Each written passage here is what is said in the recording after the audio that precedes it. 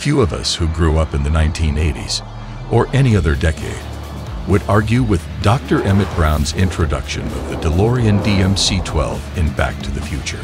If you're going to build a time machine into a car, why not do it with some style? We now know that the same principle applies to futuristic hydrogen fuel cell demonstrators. Hyundai's N Vision 74 Rolling Lab bears more than a passing resemblance to the DeLorean's stance and proportions. It has a genuine, if distant, connection to the stainless steel sports car. Hello everyone, welcome.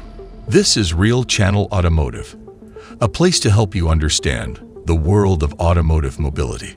Please subscribe our channel to receive future updates. The N Vision 74 was revealed earlier this year as the Hyundai Envision's interpretation of the type of high performance, sustainable driving excitement that is possible beyond fully electric cars.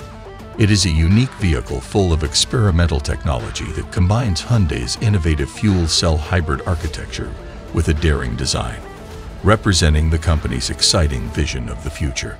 Hyundai's N-Division uses its rolling labs to explore ways to develop latest technology for high-performance applications, but what really makes the N Vision 74 distinctive is how it blends the company's past and future.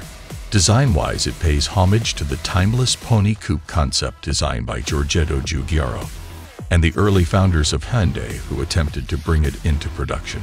Under its iconic lines, it makes use of battery electric technology in combination with a fuel cell electric vehicle system to bring to life the potential of hydrogen-based high performance first previewed by the N2025 Vision Gran Turismo concept car of 2015.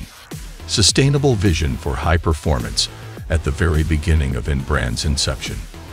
Unlike existing FCEVs that use integrated hydrogen fuel cell stacks to feed electricity directly to motors, the N Vision 74 adds a step with its large 62 kilowatt-hours battery. This improves the peak load of the batteries and, in conjunction with three independent cooling channels, keeps them within the optimum temperature range for consistent power delivery even during longer stints on track. Engineers created a cooperative control system to allow the two different sources of power to work together in maximum synergy during track conditions. The end result is a fully drivable vehicle with more than 500 kilowatts of power, more than 900 newton meter of torque, a top speed of more than 250 kilometers per hour, a driving range of more than 600 kilometers, and the ability to refuel to 80% in 5 minutes.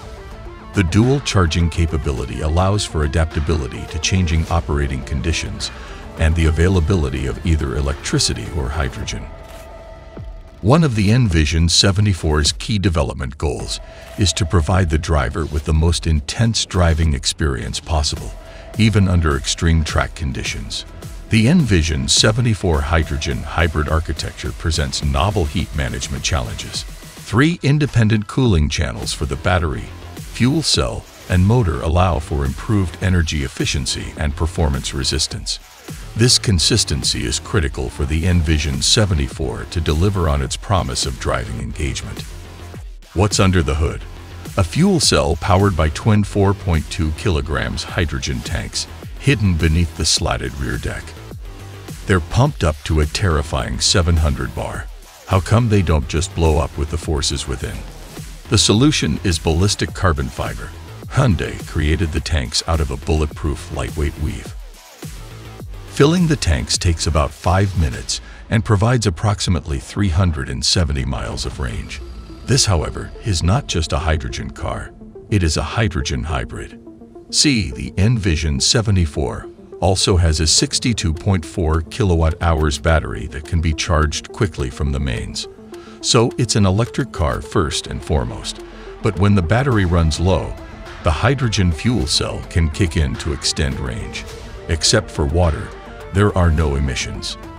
The disadvantage is that all of this engineering is heavy, two and a half tons in weight. On the contrary, it's quite fast. Each rear wheel is powered by its own electric motor. They produce 670 horsepower when combined, and because they are controlled independently, clever handling tricks are possible. Torque vectoring can help you slow the inside wheel in a corner to pivot the car towards the apex if you're careful. If you're feeling frisky and childish, you can unleash the 664 pound-feet torrent of torque in tandem, unsticking the rear tires and launching the N Vision 74 into monstrous drifts.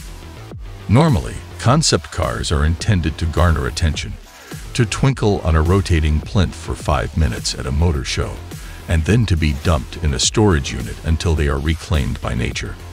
But because the N division was determined that none of the technology in the vision was beyond the realms of possibility, and the N division has a great sense of humor, they built a fully functional prototype. And by functioning, I mean that it has air conditioning, power steering, and a working dashboard that displays real-time power levels, lap times, and torque distribution. It has a more advanced dashboard than the latest Volkswagen Golf.